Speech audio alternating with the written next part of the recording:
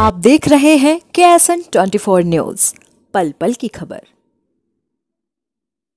Current की चपेट में आने से महिला की मौत, जांजगीर के ग्राम गिद्धा का मामला।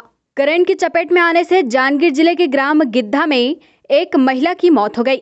मामला पामगढ़ थाना क्षेत्र का है, जहाँ मृतका बृहस्पति साहू घर में खाना बना रही थी। इसी दौरान उसे स्विच बोर्ड से करंट का ज़बरदस्त झटका लगा और उसके प्राण पखेरु उड़ गए।